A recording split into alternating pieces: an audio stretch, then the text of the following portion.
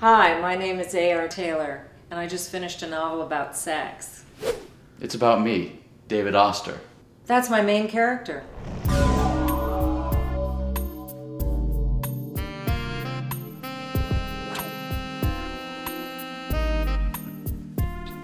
It's about sex. Isn't rain supposed to come from up above?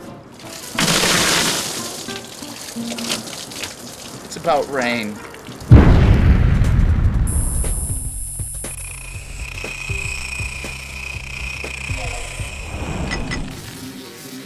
It's about cold fusion.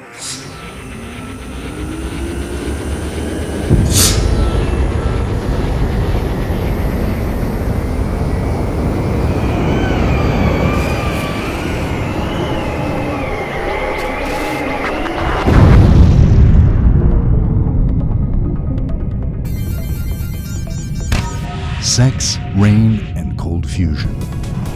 A novel about the physics of modern love by A.R. Taylor.